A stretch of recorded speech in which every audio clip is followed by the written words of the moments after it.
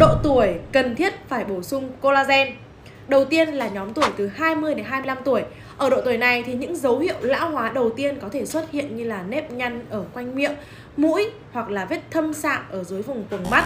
Và thứ hai là sau tuổi 30, những yếu tố như là stress này, chế độ ăn uống và cuộc sống gia đình cùng với lượng collagen thiếu hụt lên đến khoảng 7 và 10% kéo theo các dấu hiệu lão hóa như là da chảy xệ, nhiều nếp nhăn và da khô sạm và nám. Tiếp đến là độ tuổi từ 40 cho đến 50 tuổi. Ở độ tuổi mà cơ thể sẽ tái tạo collagen chậm chạp, biểu hiện da lão hóa mạnh mẽ hơn và da bị trùng nhão, đàn hồi kém, đồi mồi, nám da và khô sần. Cuối cùng đó chính là độ tuổi ngoài 60. Ở tuổi này thì collagen gần như là không còn khả năng sinh sản hoặc là rất chậm khiến cho bề mặt da mỏng và yếu ớt, dễ bị tổn thương. Da trùng xuống, chảy xệ, rãnh nhăn hằn sâu, đốm nâu và đồi mồi nhiều hơn.